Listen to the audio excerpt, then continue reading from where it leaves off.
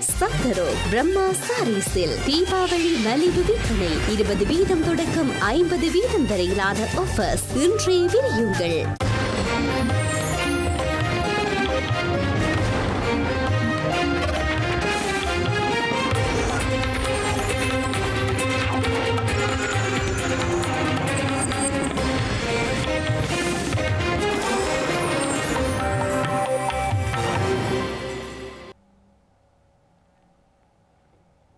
வணக்கம். இது ஐபிசி தமிழின் பிரதான செய்திகள். முதலில் தலைப்புச் செய்திகள். ஸ்ரீலங்காவின் இருபத்தி இரண்டாவது திருத்த சட்ட மூலம் மீதான வாக்கெடுப்பு இன்று பெரும்பான்மை ஆதரவு கிடைக்கும் என தகவல். இருபத்தி இரண்டாவது திருத்தத்தில் இரட்டை குடியுரிமையை சேர்க்கும் நகர்வு வாக்களிக்கப் போவதில்லை என்கிறார் மைத்திரி. இலங்கையின் பணவீக்கம் உச்சநிலையை அடைந்தது. நாணய நிதியத்தை தவிர வேறு வழியில்லை என்கிறார் நந்தலால் வீரசிங்க. ஜெயலலிதாவின் மரணத்துடன் சசிகலாவுக்கு தொடர்பு மருமகள் ஜெயதீபா பரபரப்பு குற்றச்சாட்டு. பிரித்தானியாவில் பிரதமருக்கான போட்டி ஆரம்பம். ஒரு வாரத்துக்குள் புதிய பிரதமர் அறிவிக்கப்படுவார். இனி விரிவான செய்திகள்.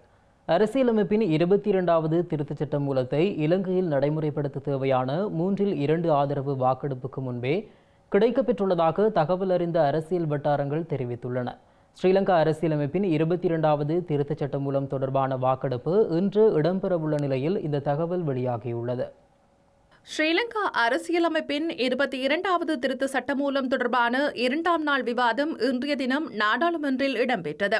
அரசியலமைப்பின் இருபத்தி இரண்டாம் திருத்த சட்டமூலத்திற்கு ஐக்கிய மக்கள் சக்தி மற்றும் ஐக்கிய மக்கள் கூட்டணி என்பன ஆதரவு வழங்க உள்ளதாக எதிர்க்கட்சித் தலைவர் சஜித் பிரேமதாஸ் நேற்று நாடாளுமன்றத்தில் வைத்து தெரிவித்தார். அத்துடன் தமது கட்சி அரசியலமைப்பின் இருபத்தி இரண்டாம் திருத்த சட்டமூலத்திற்கு ஆதரவு வழங்க உள்ளதாக ஸ்ரீலங்கா சுதந்திர கட்சியின் தலைவரும் முன்னாள் ஜனாதிபதியுமான மைத்ரிபால சிறிசேன தெரிவித்துள்ளார்.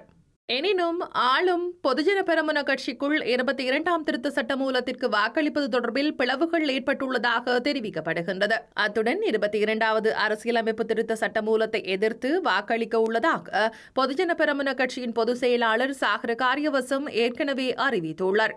வாய்ப்புகள் அதிகரித்துள்ளன. அதனால் இதனை தடுப்பதற்கு கட்சிக்குள் ஒரு பிரிவினர் கடும் முயற்சியில் ஈடுபட்டு வருகின்றனர். எனினும் பொதுஜன பெரமுனவை சேர்ந்த பேராசிரியர் பீரிஸ் தலைமையிலான அணி தமிழ் மக்கள் தேசிய கூட்டணி ஆகியன இருபத்தி இரண்டாவது அரசியலமைப்பு திருத்தத்தை ஆதரிக்கப் போவதாக அறிவித்துள்ளன. இந்த நிலையில் அரசியலமைப்பின் இருபத்தி இரண்டாவது திருத்த சட்ட மூலத்தை இலங்கையில் நடைமுறைப்படுத்த தேவையான மூன்றில் இரண்டு ஆதரவு வாக்கெடுப்பிற்கு முன்பே கிடைக்கப்பெற்றுள்ளதாக தகவலறிந்த அரசியல் வட்டாரங்கள் தெரிவித்துள்ளன. ஸ்ரீலங்காவின் முன்னாள் நிதியமைச்சர் பெசில் ராஜபக்ஷ மற்றும் அவரது ஆதரவாளர்கள் அரசியலமைப்பின் இருபத்தி இரண்டாவது திருத்த சட்ட மூலத்தை எதிர்த்திருந்த போதும் தற்போது அதனை எதிர்ப்பவர்களின் எண்ணிக்கை குறைந்துள்ளதாக தெரிவிக்கப்பட்டுள்ளது. இதேவேளை ஸ்ரீலங்கா ஜனாதிபதிக்கு வழங்கப்பட்டுள்ள அதிகப்படியான அதிகாரங்கள் நாட்டிற்கு ஆபத்தானது எனவும் இரட்டை குடியுரிமையை கொண்டுள்ளவர்கள் நாட்டின் நிலை குறித்து பொறுப்பேற்க மாட்டார்கள் எனவும் ஒபல்பே சோபித தேரர் தெரிவித்துள்ளார். அரசியலமைப்பின் இருபத்தி இரண்டாவது திருத்த சட்ட மூலத்தை ஆதரிப்பதன் மூலம் இலங்கையில் தேர்தலை நடத்த வேண்டும் எனவும் இதனை எதிர்ப்பவர்கள் தேச துரோகிகள் எனவும் அவர் குறிப்பிட்டுள்ளார். கட்சி பாகுபாடுகளை மறந்து இலங்கையின் நிலையை மாற்றுவதற்காக அனைவரும் அரசியலமைப்பின் இருபத்தி இரண்டாவது திருத்த சட்ட மூலத்தை ஏற்றுக்கொள்ள வேண்டும் என அவர் மேலும் வலியுறுத்தியுள்ளார். ஸ்ரீலங்கா அரசியலமைப்பின் இருபத்தி இரண்டாவது திருத்தச் சட்டம் மூலம் குறித்த விவாதம் ஸ்ரீலங்கா நாடாளுமன்றத்தில் இடம்பெற்றாலும் அது குறித்த இறுதி வாக்கெடுப்பு இன்று நடைபெறுமா என்ற சந்தேகம் தமக்கு இருப்பதாக தேசிய சுதந்திர முன்னணி அமைப்பாளரும் நாடாளுமன்ற உறுப்பினருமான ஜெயந்த சமரவீர தெரிவித்துள்ளார். அரசியலமைப்பின் இருபத்தி இரண்டாவது திருத்தச் சட்டத்தை இலங்கையில் நடைமுறைப்படுத்தினால் இரட்டை குடியுரிமையை உடைய நபர்கள் நாடாளுமன்றத்தில் இருக்க முடியாது எனவும் இது ஸ்ரீலங்காவின் முன்னாள் நிதியமைச்சரான பசில் ராஜபக்சவை பெருமளவில் பாதிக்கும் எனவும் ஜெயந்த சமரவீர சுட்டிக்காட்டியுள்ளார். அரசியலமைப்பின் இருபத்தி இரண்டாவது திருத்த சட்டம் மூலம் கடந்த வாரம் நிறைவேற்றப்பட இருந்தாலும் அரசியல் வட்டாரங்களுக்குள் ஏற்பட்ட குழப்பங்கள் காரணமாக இந்த வாரத்திற்கு ஒத்தி வைக்கப்பட்டது என தேசிய சுதந்திர முன்னணி அமைப்பாளரும் நாடாளுமன்ற உறுப்பினருமான ஜெயந்த சமரவீர தெரிவித்துள்ளார். ஸ்ரீலங்கா பொதுஜன பெரமுனவின் உறுப்பினரான பெசில் ராஜபக்ஷவின் நாடாளுமன்ற வருகையை அரசியலமைப்பின் இருபத்தி இரண்டாவது சட்டம் மூலம் தடை செய்வதால் அதனை ஆதரிக்காது நாடாளுமன்றத்தில் நிறைவேற்றப்படுவதை தவிர்க்க கட்சி முயற்சிக்கின்றது என அவர் மேலும் குறிப்பிட்டுள்ளார். இதேவேளை இலங்கையில் நடைபெற இருக்கும் தேர்தலை ஒத்திவைக்க வேண்டுமாயின் ஸ்ரீலங்கா தேர்தல் ஆணைக்குழுவை மாற்ற வேண்டும் எனவும் அரசியலமைப்பின் இருபத்தி இரண்டாவது திருத்த சட்டத்தை நடைமுறைப்படுத்துவதன் மூலம் மாத்திரமே அதனை செய்ய முடியும் எனவும் அண்மையில் கட்சித் அரசுக்கும் ஸ்ரீலங்கா ஜனாதிபதிக்கும் இடையில் நடைபெற்ற கலந்துரையாடலின் போது ரணில் விக்ரமசிங்க கூறியிருந்தமை குறிப்பிடத்தக்கது. இரட்டை பிரஜா உரிமை தொடர்பில் திருத்தங்கள் கொண்டுவரப்படும் பட்சத்தில் இருபத்தி இரண்டாவது திருத்தத்துக்கு ஆதரவாக வாக்களிக்கப் போவதில்லை என்பதே ஸ்ரீலங்கா சுதந்திர கட்சியின் நிலைப்பாடு என கட்சியின் தவிசாளர் மைத்திரிபால சிறிசேன தெரிவித்துள்ளார். இன்று பிற்பகல் இடம்பெறும் செயற்குழு கூட்டத்தில் திருத்தங்கள் பல முன்வைக்கப்பட உள்ளதாக தகவல் கிடைத்துள்ளதாக மைத்திரிபால சிறிசேன தெரிவித்தார். இன்று பிற்பகல் செயற்குழு கூட்டத்தில் திருத்தங்கள் பல முன்வைக்கப்பட உள்ளதாக எமக்கு அறிய கிடைத்துள்ளது. திருத்தம் தொடர்பில் எமக்கு தெரியாது. இருபதாவது திருத்தத்தினூடாக கொண்டுவரப்பட்ட இரட்டை பிரஜா உரிமை இருபத்தி இரண்டாவது திருத்தத்தில் நீக்கப்பட்டுள்ளது. இது தொடர்பில் நாம் மகிழ்ச்சி அடைகின்றோம். இதன் காரணமாகவே நாம் இந்த திருத்தத்துக்கு ஆதரவாக வாக்களிக்க தீர்மானித்தோமே தவிர அரசாங்கத்தை பலப்படுத்துவதற்காக அல்ல. ஆணைக்குழுக்கள் சுயாதீனப்படுத்தப்படுகின்றமையூடாக பத்தொன்பதாவது திருத்தம் மீள செயற்படுத்தப்படுகிறது. இது தொடர்பில் நாம் சந்தோஷமடைகின்றோம். இதன் காரணமாகவும் இருபத்தி இரண்டாவது திருத்தத்துக்கு வாக்களிக்க தீர்மானித்தோம். பிற்பகல் வேளையில் இருபத்தி இரண்டாவது திருத்தத்திலிருந்து இரட்டை குடியுரிமை என்ற விடயம் இல்லாமல் செய்யப்பட்டால் நாம் அதற்கு ஆதரவாக வாக்களிக்க மாட்டோம். எனினும் திருத்தத்தில் உள்ள விடயங்கள் தொடர்பில் எமக்கு இதுவரை அறிவிக்கவில்லை. திருத்தத்தை அறிந்த பின்னரே கட்சி என்ற ரீதியில் இறுதி தீர்மானத்தை மேற்கொள்வோம். வாக்களிப்பதற்கு இணக்கமிட்டப்படாத விடயங்கள் உள்ளடக்கப்பட்டிருக்குமானால் நாங்கள் வாக்களிக்காமல் இருக்க நேரிடும். இலங்கைக்கு சர்வதேச உதவிகள் கிடைப்பதற்கான சாதக நிலை இருபத்தி இரண்டாவது அரசியலமைப்பு திருத்தம் நிறைவேற்றப்படுவதிலேயே தங்கியிருப்பதாக ஸ்ரீலங்காவின் நீதியமைச்சர் விஜயதாச ராஜபக்ச தெரிவித்துள்ளார். இருபத்தி இரண்டாவது திருத்தம் ஒரு கட்சியை பாதுகாக்கவோ அல்லது ஒரு குழுவை பலப்படுத்துவதற்காகவோ கொண்டுவரப்பட்டதல்ல என ஸ்ரீலங்கா நாடாளுமன்றத்தின் இன்றைய அமர்வில் உரையாற்றும் போது விஜயதாச ராஜபக்ச தெரிவித்தார். சர்வதேச நாணய நிதியத்திடம் சென்றமை தொடர்பில் வாத பிரதிவாதங்கள் நிலவுகின்றன. எனினும் தற்போதைய நிலையில் சர்வதேச நாணய நிதியத்தை தவிர இலங்கையின் பொருளாதாரத்தை கட்டியெழுப்ப வேறு வழியில்லை இதேவேளை எமக்கு கிடைத்த தகவலின் அடிப்படையில் சர்வதேச நாணய நிதியத்தின் நிதியுதவி ஏனைய நாடுகளின் ஆதரவு மற்றும் ஜிஎஸ்பி வரிச்சலுகை போன்றவை இலங்கைக்கு தொடர்ந்தும் கிடைக்க வேண்டுமாக இருந்தால் அது இருபத்தி இரண்டாவது திருத்தம் நாடாளுமன்றத்தில் நிறைவேற்றப்படுவதிலேயே தங்கியுள்ளது. இருபத்தி இரண்டாவது திருத்தம் ஒரு கட்சியை பாதுகாக்கவோ அல்லது ஒரு குழுவை பலப்படுத்துவதற்காகவோ கொண்டுவரப்பட்டதல்ல. இது மக்களுக்காக பெரும் பொறுப்புடன் கொண்டுவரப்பட்டுள்ளது. நாடு தற்போது எதிர்கொண்டுள்ள பொருளாதார நெருக்கடியிலிருந்து தனியே தலை தூக்க முடியாது. எமக்கு சர்வதேச ஒத்துழைப்பு மிகவும் அவசியமாக உள்ளது. அரசாங்கம் சர்வதேச நாணய நிதியத்துடனான பேச்சுவார்த்தைகளை மேற்கொண்டு வருகின்றது. இதுவரை பதினேழு முறை சர்வதேச நாணய நிதியத்திடம் சென்றுள்ளோம். எனினும் எமக்கான பிரச்சினைகள் முழுமையாக தீரவில்லை. எமது உற்பத்தி பொருட்கள் ஐரோப்பிய நாடுகளுக்கும் அமெரிக்காவுக்குமே அதிகமாக ஏற்றுமதி செய்யப்படுகின்றன. அதேவேளை ஜிஎஸ்பி பிளஸ் சலுகை எமக்கு மிகவும் முக்கியமானது. அவற்றை இல்லாதொழிக்கும் வகையில் நாம் செயற்படக்கூடாது. அது தொடர்பில் நாம் மிக கவனமாக செயற்பட வேண்டியுள்ளது. இலங்கையின் பணவீக்கம் உச்சநிலையை அடைந்துள்ளதாகவும் தற்போதைய சூழ்நிலையில் நாட்டின் பொருளாதாரத்தை மீட்டெடுப்பதற்கு சர்வதேச நாணய நிதியத்தை தவிர வேறு வழியில்லை எனவும் ஸ்ரீலங்கா மத்திய வங்கியின் ஆளுநர் கலாநிதி நந்தலால் வீரசிங்க தெரிவித்துள்ளார். இலங்கை எதிர்கொண்டுள்ள பொருளாதார நிதி நெருக்கடிக்கு தீர்வை காண்பதற்கு நீண்ட தூரம் செல்ல வேண்டியுள்ளதாக நேர்காணல் ஒன்றின் போது நந்தலால் வீரசிங்க தெரிவித்தார். பணவீக்கம் உச்சநிலையை அடைவதை நாங்கள் காண்கின்றோம் என கருதுகின்றேன். அதேவேளை நாடு எதிர்கொண்டுள்ள பொருளாதார நிதி நெருக்கடிக்கு தீர்வை காண்பதற்கு நீண்ட தூரம் செல்ல வேண்டியுள்ளது. இலங்கையின் நுகர்வோர் பணவீக்கம் செப்டம்பர் மாதம் அறுபத்தி ஒன்பது தசம் எட்டு வீதமாக அதிகரித்து காணப்பட்டது.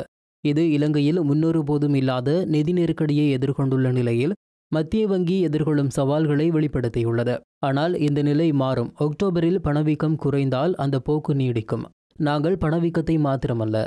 எதிர்கால நிலை எதிர்பார்ப்புகள் பணவியல் விரிவாக்கம் வளர்ச்சி கண்ணோட்டம் போன்றவற்றையும் ஆராய வேண்டும். இந்த மாதம் வங்கிகள் வீதங்களை உயர்வாக வைத்திருக்க வேண்டும். பணவீக்கத்தை கட்டுப்படுத்த இது அவசியம். டிசம்பர் ஜனவரியில் விலைகள் குறைவடையலாம். தற்போதைய சூழ்நிலையில் நாட்டின் பொருளாதாரத்தை மீட்டெடுப்பதற்கு சர்வதேச நாணய நிதியத்தை தவிர வேறு வழியில்லை. வரி திருத்தங்கள் மற்றும் கடன் மறுசீரமைப்புடன் இணைந்த பிற சீர்திருத்தங்கள் என்பன நிதியுதவி உறுதிப்படுத்துதல் செயல்முறையின் பகுதிகள். எண்பது சதவீதம் மறைமுக வரி மற்றும் இருபது சதவீதம் நேரடி வரி முறையே அறுபது சதவீதம் மற்றும் நாற்பத்தேழு சதவீதமாக மாற்றப்பட வேண்டும். குறைந்த வருமானம் பெறும் குழுக்களுக்கு நிவாரணம் வழங்குவதற்காக குறைந்தபட்சம் ஒரு வருடத்துக்கு வரி முறையை தொடர வேண்டும். இந்திய அமைதி காக்கும் படையினரால் சுட்டு படுகொலை செய்யப்பட்ட யாழ் போதனா வைத்தியசாலை பணியாளர்களின் முப்பத்தி ஐந்தாவது ஆண்டு நினைவு தினம் நினைவு கூறப்பட்டது. யாழ்ப்பாணம் போதனா வைத்தியசாலை பணிப்பாளர் சத்தியமூர்த்தி தலைமையில் இந்த அஞ்சலி நிகழ்வு இடம்பெற்றுள்ளது. இந்திய அமைதி காக்கும் படையினர் கடந்த ஆயிரத்து தொள்ளாயிரத்து எண்பத்தி ஏழாம் ஆண்டு அக்டோபர் மாதம் யாழ் போதனா வைத்தியசாலைக்குள் புகுந்து நோயாளிகள் தாதிகள் மருத்துவர்கள் மற்றும் பணியாளர்கள் மீது நடத்திய தாக்குதலில் அறுபத்தி எட்டு பேர் வரை படுகொலை செய்யப்பட்டிருந்தனர். இவ்வாறு கொல்லப்பட்டவர்களின் முப்பத்தி ஐந்தாவது நினைவு தினம் யாழ்ப்பாணம் போதனா வைத்தியசாலையில் இன்றைய தினம் நினைவு கூறப்பட்டுள்ளது.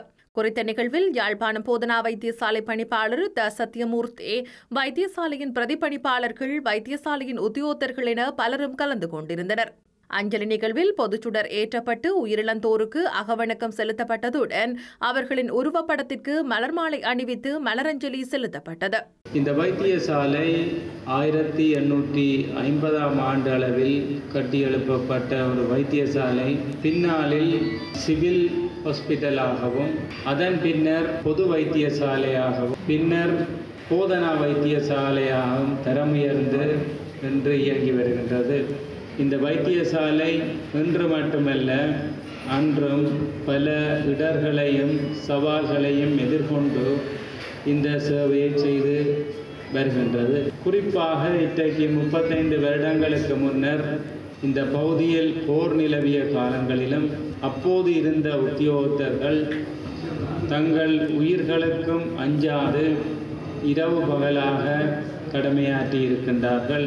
அவர்கள் இந்த சேவையே சேவைக்காக தங்கள் உயிர்களை திரு அதாவது விட்டு கொடுத்திருக்கின்றார்கள்.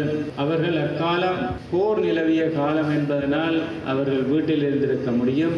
அவர்கள் பாதுகாப்பாக அவர்கள் தங்களுடைய வாழ்விடங்களிலே இருந்து வேலைக்கு வராமல் இருந்திருக்க முடியும். ஆனால் அவர்கள் அவ்வாறு செய்யவில்லை.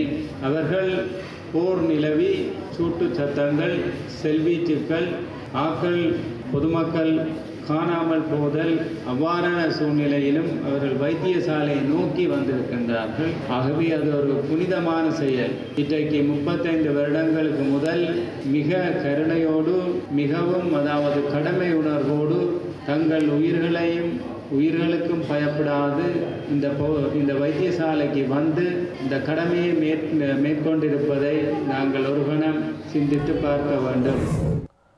இலங்கையின் வடமாகாணத்தில் யுத்த காலத்தில் புதைக்கப்பட்ட ஐம்பத்தி நான்காயிரம் கன்னிவெடிகள் இதுவரை அகற்றப்பட்டுள்ளதாக கன்னிவெடி அகற்றும் பணிகளை மேற்கொண்டு வரும் ஹலோ ட்ரஸ்ட் நிறுவனம் தெரிவித்துள்ளது. இலங்கையின் வடமாகாணத்தில் மனிதாபிமான கன்னிவெடி அகற்றும் நடவடிக்கைகளுக்காக ஜப்பான் அரசாங்கம் ஹலோ ட்ரஸ்ட் அறக்கட்டளைக்கு சுமார் இருநூற்றி முப்பது மில்லியன் ரூபாய் நிதியுதவி வழங்கியுள்ளது. இந்த நன்கொடைக்கான உடன்படிக்கை கைச்சாத்திடும் நிகழ்வு கொழும்பில் உள்ள ஜப்பானிய தூதுவரின் உத்தியோகபூர்வ வாசஸ்தலத்தில் இடம்பெற்றது. இதில் ஜப்பானிய தூதுவர் மிஷிகோசி ஹிதேகி மற்றும் ஹலோ ட்ரஸ்ட் நிகழ்ச்சி முகாமையாளர் ஸ்டீஃபன் ஹோல் ஆகியோரும் கைச்சாத்திட்டனர். இலங்கையில் இரண்டாயிரத்தி இரண்டாம் ஆண்டு முதல் ஹலோ ட்ரஸ்ட் நிறுவனம் கண்ணிவெடி அகற்றும் பணிகளை ஆரம்பித்திருந்தது. இந்த அமைப்பின் கண்ணிவெடி அகற்றும் பணிகளுக்கு இருபது சதவீதமான பங்களிப்பை ஜப்பான் வழங்கியுள்ளது. கண்ணிவெடி அகற்றும் பணிகளினூடாக கிளிநொச்சி முல்லைத்தீவு மற்றும் யாழ்ப்பாணம் மாவட்டங்களைச் சேர்ந்த இடம்பெயர்ந்த பதினோராயிரம் மக்களுக்கு நேரடியாகவும் மறைமுகமாகவும் பாதுகாப்பான காணிகளை பெற்றுக் கொடுக்கும் வகையில் இந்த பணிகள் முன்னெடுக்கப்பட்டுள்ளன. இரண்டாயிரத்தி இரண்டாம் ஆண்டு முதல் இலங்கையில் கண்ணிவெடி அகற்றும் செயற்பாடுகளுக்கு ஜப்பான் அரசாங்கம் நிதியுதவி வழங்கி வருகின்றது. இந்த நிலையில் வடக்கில் கண்ணிவெடிகளை அகற்றுவதற்கான இருபது வருட மனிதாபிமான உதவியின் விளைவாக சுமார் ஏழு சதுர கிலோமீட்டர் நிலப்பரப்பிலிருந்து ஐம்பத்தி நான்காயிரத்துக்கும் அதிகமான கண்ணிவெடிகளும் ஆயிரக்கணக்கான இதர வெடிபொருட்களும் பாதுகாப்பாக அகற்றப்பட்டுள்ளன. ஜப்பானிய அரசாங்கத்தின் தொடர்ச்சியான உதவியுடன் ஏனைய மூன்று கண்ணிவெடி அகற்றும் செயற்பாட்டாளர்களுடன் இணைந்து இரண்டாயிரத்தி இருபத்தி எட்டாம் ஆண்டு ஜூன் மாதம் முதலாம் திகதி இலங்கையை கண்ணிவெடி அற்ற நாடாக மாற்றும் திட்டத்துக்கு ஹலோ ட்ரஸ்ட் நடவடிக்கை மேற்கொண்டுள்ளது. இலங்கையின் பொருளாதார மேம்பாட்டுக்காக தொழில் உற்பத்தி துறையை வீழ்ச்சியடையாமல் பாதுகாக்கவும் முதலீட்டாளர்களை ஊக்குவிக்கவும் நிலையான மின் கட்டணத்தை பேணுவது தொடர்பில் ஸ்ரீலங்கா தேசிய சபையின் உபக்குழுவில் கலந்துரையாடப்பட்டுள்ளது. ஸ்ரீலங்காவின் தேசிய சபை சபாநாயகர் மஹிந்த ஜாபா அபேவர்த்தன தலைமையில் நேற்று கூடியதுடன் பிரதமர் தினேஷ் குணவர்த்தன மற்றும் எதிர்க்கட்சியின் பிரதம கொறடா லக்ஷ்மண் கிரியல்ல ஆகியோரும் பங்கேற்றிருந்தனர். இதன்போது ஸ்ரீலங்காவின் மின்சார சபை தேசிய பேரவை முன்னிலையில் அழைக்கப்பட்டிருந்ததுடன் அதிகாரிகள் எரிசக்தி துறையின் முன்னேற்றம் தொடர்பான கருத்துக்களை முன்வைத்தனர். பொருளாதாரத்தை உறுதிப்படுத்துவதற்கான குறுகிய மற்றும் நீண்டகால திட்டங்களை இனங்காண்பது தொடர்பிலும் கலந்துரையாடல்கள் இடம்பெற்றுள்ளன. அத்துடன் மின்சார சேவை தொடர்பில் அதிக கேள்வி காணப்படும் நேரத்திற்கும் குறைந்த கேள்வி காணப்படும் நேரத்திற்கும் இடையில் அமைகின்ற இடைவெளியை குறைக்க வேண்டும் என உபகுழுவில் கருத்துக்கள் முன்வைக்கப்பட்டுள்ளன. இலங்கையின் எரிசக்தி சேவைகளை நிறைவு செய்வதற்கு மாற்றுத் திட்டங்களை முன்வைத்து ஆலோசனைகள் நடத்தப்பட்டுள்ளன. மேலும் போக்குவரத்து துறையை வலுப்படுத்த பல்வேறு திட்டங்கள் முன்வைக்கப்பட்டதுடன் முச்சக்கர வண்டிகளுக்கு எண்பத்தி ஏழு ஆக்டேன் ரக எரிபொருளை பயன்படுத்துவது தொடர்பிலும் ஆராயப்பட்டுள்ளது. இதேவேளை வலசக்தித்துறை மறுசீரமைப்புடன் தொடர்புடைய குழுவின் அறிக்கையை இரண்டு வாரங்களில் தேசிய பேரவைக்கு சமர்ப்பிப்பதாக ஸ்ரீலங்காவின் மின்சக்தி மற்றும் வலசக்தி அமைச்சர் கஞ்சன விஜயசேகர அறிவித்தார். இலங்கையின் நிர்மாணத் துறையில் எழுந்துள்ள சவால்கள் மற்றும் உத்தேச எதிர்கால செயற்திட்டங்கள் தொடர்பான கலந்துரையாடல் ஸ்ரீலங்கா ஜனாதிபதி தலைமையில் இடம்பெற்றுள்ளது. ஸ்ரீலங்கா ஜனாதிபதி அலுவலகத்தில் நேற்று இடம்பெற்ற இந்த கலந்துரையாடலின் போது நிர்மாணத்துறையின் மேம்பாட்டிற்காக விசேட செயலியொன் செயலணியொன்றை அமைக்குமாறு கோரிக்கை முன்வைக்கப்பட்டுள்ளது. இலங்கையின் தற்போதைய பொருளாதார நெருக்கடி சூழ்நிலையில் நிர்மாணத்துறை எதிர்நோக்கும் பிரச்சினைகள் குறித்து விரிவாக ஆராயப்பட்டுள்ளது. அத்துடன் நடுத்தர வருமானம் பெறுபவர்களுக்கான வீட்டுத் திட்டங்களை மற்றும் வீதி திட்டங்கள் நிர்மாணிப்பதில் ஏற்பட்டுள்ள தாமதங்கள் குறித்தும் விசேட கவனம் செலுத்தப்பட்டுள்ளது. ஒப்பந்தக்காரர்கள் வங்கிகள் மற்றும் ஏனைய நிதி நிறுவனங்கள் தொடர்பாக எழுந்துள்ள பிரச்சினைகள் குறித்தும் இதன்போது கலந்துரையாடப்பட்டுள்ளது. நிர்மாணத்துறையை தொடர்ந்து செயற்படுத்துதல் மற்றும் இந்த துறையின் தொழில் பாதுகாப்பிற்கான பின்பற்றப்பட வேண்டிய வேலை திட்டம் தொடர்பில் அதிகாரிகளின் கவனத்திற்கு கொண்டு வந்து ஸ்ரீலங்கா ஜனாதிபதி இது தொடர்பில் மேலும் கலந்துரையாடி பரிந்துரைகளை வழங்குவதற்கு குழு ஒன்றை நியமிப்பதற்கு முன்மொழிந்துள்ளார் அத்துடன் நிர்மாணத்துறையின் மேம்பாட்டிற்காக விசேட செயலணி ஒன்றை அமைக்குமாறு களப்பணியாளர்கள் ஸ்ரீலங்கா ஜனாதிபதியிடம் கோரிக்கை விடுத்துள்ளனர். இலங்கையின் வடமாகாணம் உள்ளிட்ட பல பகுதிகளில் நிலவும் மழையுடன் கூடிய காலநிலை காரணமாக மக்களின் இயல்பு வாழ்க்கை பாதிக்கப்பட்டுள்ளது. அதே நேரம் மத்திய மலைநாட்டில் நிலவி வரும் சீரற்ற காலநிலை காரணமாக நீர்த்தேக்கங்களின் நீர்மட்டமும் வெகுவாக அதிகரித்து வருகின்றது. இலங்கையின் மேல் சப்ரகமுவ மத்திய வடமேல் மற்றும் வடக்கு மாகாணங்களிலும் காலி மற்றும் மாத்திரை மாவட்டங்களிலும் மழை அல்லது இடியுடன் கூடிய மழை பெய்வதற்கான சாத்தியம் காணப்படுவதாக ஸ்ரீலங்கா வளிமண்டலவியல் திணைக்களம் தெரிவித்துள்ளது. அத்துடன் மேல் சப்ரகமுவ மத்திய மற்றும் வடமேல் மாகாணங்களிலும் காலி மற்றும் மாத்திரை மாவட்டங்களிலும் எழுபத்தி ஐந்து மில்லிமீட்டர் மழை வீழ்ச்சி பதிவாகும் சாத்தியம் காணப்படுவதாக அந்த அறிக்கையில் மேலும் தெரிவிக்கப்பட்டுள்ளது. மேலும் இரவு வேளைகளில் நாட்டின் பல பகுதிகளில் மழை அல்லது இடியுடன் கூடிய மழை பெய்வதற்கான சாத்தியம் காணப்படுவதாகவும் தெரிவிக்கப்பட்டுள்ளது. அதே நேரம் தெற்கு அந்தமான் பகுதியில் உருவாகியுள்ள காற்றழுத்த தாழ்வு மண்டலம் வலுப்பெற்று நாளை மறுதினம் இருபத்தி மூன்றாம் திகதி மேற்கு வங்கக்கடல் பகுதி பகுதியில் புயலாக வலுவடைய உள்ளது என சென்னை வானிலை ஆய்வு நிலையம் தெரிவித்துள்ளது. இதனால் பொதுமக்களை அவதானமாக இருக்குமாறு சென்னை வானிலை ஆய்வு நிலையம் அறிவுறுத்தியுள்ளது. இந்த நிலையில் இலங்கையின் மத்திய மலைநாட்டில் பெய்து வரும் அடைமழையால் நீர்த்தேக்கங்களின் நீர்மட்டமும் வெகுவாக அதிகரித்து வருகின்றது. மேல்கொத்மலை நீர்த்தேக்கத்தில் நான்கு வான்கதவுகள் திறக்கப்பட்டு வினாடிக்கு இருநூறு கன அடி வீதம் நீர் வெளியேற்றப்பட்டு வருகின்றது. இந்த பகுதிகளில் தொடர்ந்தும் மழை பெய்தால் நீர்த்தேக்கத்தின் எஞ்சிய வான்கதவுகளும் திறக்கப்படும் என்பதால் மேல்கொத்மலை நீர்த்தேக்க அணைக்கட்டிற்கு கீழே கொத்மலை ஓயாவின் இருபுறங்களிலும் வசிக்கும் மக்களை அவதானமாக செயற்படுமாறு வலியுறுத்தப்பட்டுள்ளது. இதேவேளை தொடரும் மழை காரணமாக ஹெட்டன் நுவரெலியா பிரதான வீதியில் பல இடங்களில் மண் சரிவுகள் ஏற்பட்டுள்ளதால் ஒரு வழி போக்குவரத்தாக மட்டுப்படுத்தப்பட்டுள்ளது. ஹெட்டன் குடாகம பகுதியில் வீடொன்றின் மீது இன்று காலை மண்மேடு சரிந்து வீழ்ந்துள்ளது.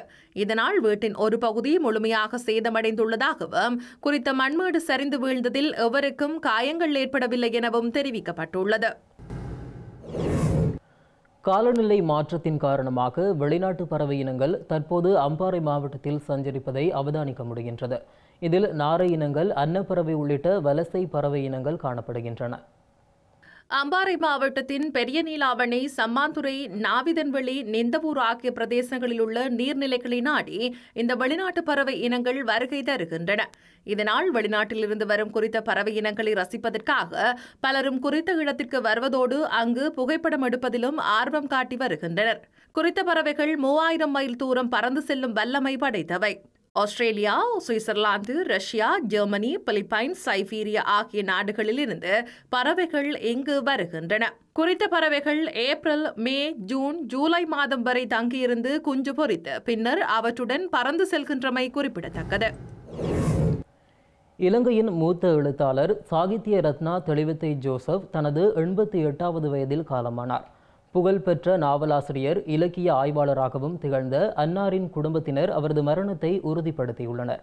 ஆயிரத்தி தொள்ளாயிரத்து அறுபதுகளில் எழுத ஆரம்பித்து எழுபதுகளில் இலக்கிய உலகில் தனித்துவம் மிகுந்த படைப்பாளியாக தெளிவத்தை ஜோசப் திகழ்ந்தார். தனது படைப்புகளுக்காக அவருக்கு சாகித்ய விருது விஷ்ணுபுரம் இலக்கிய விருது சாகித்ய ரத்னா போன்ற விருதுகள் கிடைத்துள்ளன. இவரது குடை நிழல் என்ற புதின நூல் இரண்டாயிரத்தி பத்தாம் ஆண்டுக்கான யாழ்ப்பாண இலக்கிய வட்டம் இலங்கை இலக்கிய பேரவையின் விருதை பெற்றுள்ளது. செய்திகளின் நிறைவாக மீண்டும் தலைப்புச் செய்திகள். ஸ்ரீலங்காவின் இருபத்தி இரண்டாவது திருத்த சட்டம் மூலம் மீதான வாக்கெடுப்பு இன்று பெரும்பான்மை ஆதரவு கிடைக்கும் என தகவல். இருபத்தி இரண்டாவது திருத்தத்தில் இரட்டை குடியுரிமையை சேர்க்கும் நகர்வு வாக்களிக்கப் போவதில்லை என்கிறார் மைத்திரி.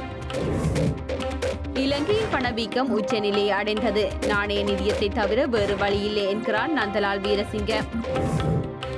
ஜெயலலிதாவின் மரணத்துடன் சசிகலாவுக்கு தொடர்பு மருமகள் ஜெயதீபா பரபரப்பு குற்றச்சாட்டு. பிரித்தானியாவில் பிரதமருக்கான போட்டி ஆரம்பம். ஒரு வாரத்துக்குள் புதிய பிரதமர் அறிவிக்கப்படுவார்.